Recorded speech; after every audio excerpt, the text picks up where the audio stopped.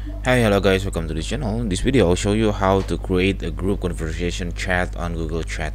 So I, I open my Google Chat uh, desktop version and then uh, I open it from my Gmail because it's really handy if you open it on your Gmail instead of using the ch chat.google.com and then you find this chat and then you can click new chat to make a new conversation you can see this is uh, there is an option of start group conversation and then you can type the email for example this this person and then I will find another person.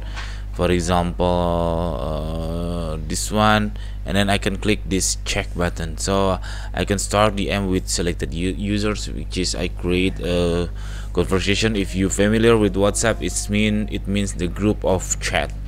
So I click done and then here I have my new chat with uh, those people so I can message them instantly on this group uh, this chat group. Okay that's it. This tutorial. I hope it's helpful for you. If you should please subscribe our channel. And then if you have any question please put in the comment below. Thank you